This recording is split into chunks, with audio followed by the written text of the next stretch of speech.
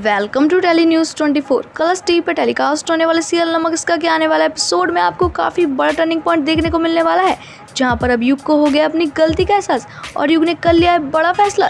जी हाँ आने वाले एपिसोड में आप देखेंगे, युग जब सुबह उठता है तो उसे सब कुछ याद आता है कि कैसे कहानी ने नशे की हालत में उसे सब कुछ बताया था कि वो अब भी उससे प्यार करती है, गुंजन और उसकी शादी से उसे फ़र्क पड़ता है। वह यहाँ पर कहानी की सारी बातें याद करके युग काफ़ी ज़्यादा खुश होता है और ये फैसला कर लेता है कि गुंजन से शादी करना उसकी सबसे बड़ी गलती थी। इसलिए अब वो ना इस गलती के साथ रहेगा और ना ही अपनी कहानी के बिना रहेगा। तब यहाँ पर युग के बाद सभी घर वालों को बताने की ठान लेता है, लेकिन तभी वहाँ पर सरोज आ जाती है और युग को ऐसा लगता है कि कहानी आई है, इसलिए युग कहानी का नाम लेता है। तब ये सुनकर सरोज को काफ़ी ज़्यादा गुस्सा आता है और वो युग से बोल देती है कि गुंजन उसकी पत्नी है, इसलिए वो गुंजन का नाम ले, ना कि किसी दूसरी औरत का। वह यहाँ पर सरोज की बात सुनकर युग भी बोल देता है कि उसे अपनी गलती का एहसास हो गया अब वो कहानी को नहीं छोड़ सकता है। और ये बात सुनकर सरोज युग के सामने इमोशनल नाटक करने लगती है और उसे बोलती है कि जैसे उसके पापा ने किया, वो भी वही करेगा।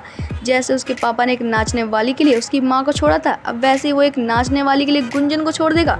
वह यहाँ पर सरोज के बात सुनकर युग को काफ़ी ज़्यादा बुरा लगता है। वहीं अब इसी के बाद देखना ये इंटरेस्टिंग होने वाला है कि क्या यहाँ पर अब युग जाएगा सरोज के खिलाफ, क्या यहाँ पर फिर से एक बार युग देगा कहानी के साथ। देखना दिलचस्प होने वाला है कि यहाँ पर अब युग कैसे सुधारने वाला है अपनी इस गलती को। देखना इंटरेस्टिंग होगा। सीरियल नमक का जुड़ा ऐसे लेट अपडेट पाने के लिए चैनल को सब्सक्राइब करें अगर वीडियो पसंद है तो लाइक करना ना भूलें।